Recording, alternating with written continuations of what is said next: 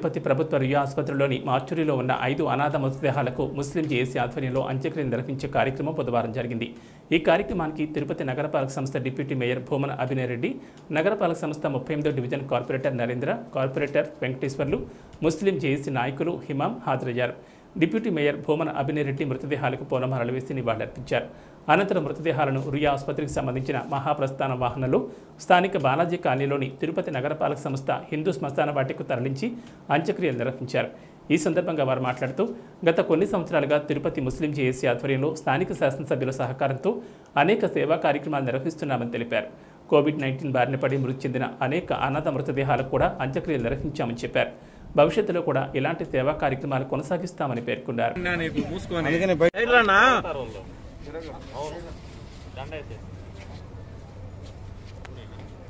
ఆయన ఫోరెన్సిక్ అన్నా వెంకటేష్ అన్న రండి.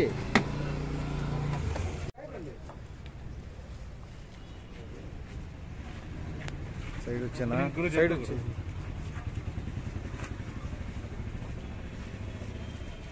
సైడ్ రానా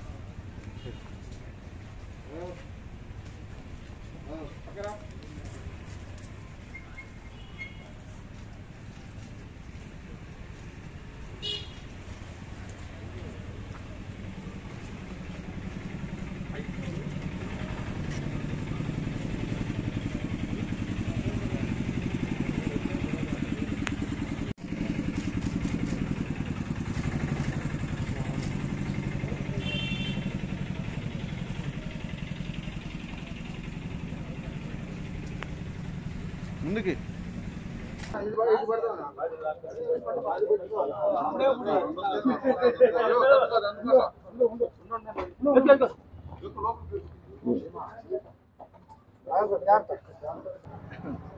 మరణించిన తర్వాత మనిషి మరణించిన తర్వాత గౌరవప్రదంగా ఆయన ఆఖరి మజిలీని నిర్వహించడాన్ని అంతిమ సంస్కారం అంటారు. తిరుపతి దివ్యక్షేత్రంలో పవిత్ర పుణ్యక్షేత్రంలో దేశవ్యాప్తంగా అనేక మంది అనాథలు ఆర్తనాథులు అందరూ కూడా తిరుపతికి స్వామివారి దర్శనం కోసం వస్తూ ఉంటారు. ప్రమాదవశాత్వం మరణించడం ఇక్కడే ఉండి కొంతమంది తనువు తాలించడం జరుగుతూ ఉంటుంది. ఈరోజు తిరుపతి యువనాయకులు డిప్యూటీ మేయర్ బొమ్మన అభినయ్ గారి సారథ్యంలో ఎవరు అనాథలుగా మిగిలిపోకూడదు అనేటువంటి ఒక గొప్ప సంకల్పంతో తిరుపతిలో ఈరోజు అనాథలకి గౌరవప్రదమైనటువంటి అంతిమ సంస్కారాలు నిర్వహించడం జరుగుతుంది. ఎవరు కూడా అనాథలుగా మిగలకూడదు.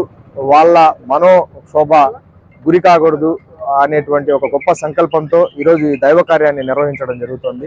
ఈరోజు భగవంతుడు మా దగ్గర నుంచి ఈ గొప్ప కార్యక్రమాన్ని తిరుపతి దివ్యక్షేత్రంలో చేయటం నిజంగా కూడా చాలా ఆనందంగా ఉంది. అదేవిధంగా అనేక మంది ఈరోజు ఎవరైతే వైద్య సహాయం కావాలో అదేవిధంగా సేవకు సంబంధించినటువంటి అవసరం ఉందో వాళ్ళందరికీ కూడా తిరుపతి శాసనసభ్యులు మరియు యువనాయకులు డిప్యూటీ మేయర్ గారు వీళ్ళందరి సహకారంతో అనేక మందికి మనం సేవను అందిస్తున్నాం. ఈరోజు తిరుపతి రుయా హాస్పిటల్లో అనాథలుగా ఉన్నటువంటి ఐదు మంది వారి మృతదేహాలకు గౌరవప్రదంగా అంతిమ సంస్కారాలు నిర్వహించడం జరుగుతుంది. ఈ గౌరవప్రదమైనటువంటి అంత అంతిమ సంస్కారాలు తిరుపతిలో నిరంతరాయంగా కొనసాగుతుందనేటువంటి విషయాన్ని ఈ సందర్భంగా తెలియదు